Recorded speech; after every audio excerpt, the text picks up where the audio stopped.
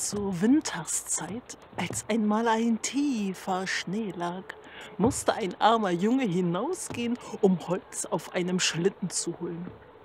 Und wie er das Holz zusammengesammelt hatte und schon auf seinen kleinen Schlitten aufgeladen hatte, wollte er noch nicht direkt nach Hause gehen, sondern weil er so erfroren war, wollte er sich ein kleines Feuerchen machen, um sich daran zu wärmen. Und wie er so den Schnee zur Seite scharrte und den Erdboden aufräumte, da fand er doch einen kleinen goldenen Schlüssel. Oh, dachte sich der Junge, wo ein Schlüssel ist, muss ja auch ein Schloss dazu sein. Und er grub in der Erde und fand doch wirklich ein kleines eisernes Kästchen. Ah, wenn der Schlüssel bloß passt, dachte sich der Junge.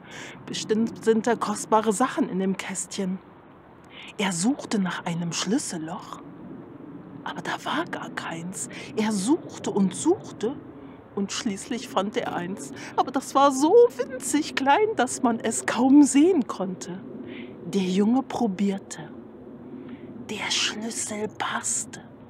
Und jetzt müssen wir warten, bis der Junge den Schlüssel ganz herumgedreht hat, das Kästchen aufgemacht hat.